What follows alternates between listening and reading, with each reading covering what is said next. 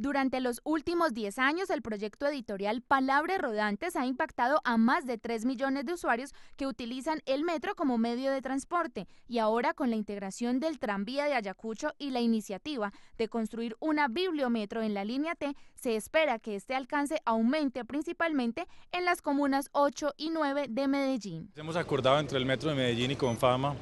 a abrir al menos una nueva sede de bibliometro en la línea del tranvía de Ayacucho, al menos una porque nos gustaría poder tener más, pero siempre hay que ser responsables con los recursos. 74 libros y 713 ejemplares conforman la colección de libros que ofrece Palabras Rodantes a los usuarios que circulan diariamente por las estaciones. Más de 900 mil usuarios muy eh, leales y fieles a las bibliometros y a la utilización de estos, de estos libros un proyecto además solidario porque los libros vuelven al lugar. En este proyecto, Confama y el Metro de Medellín han hecho una inversión de 1.200 millones de pesos.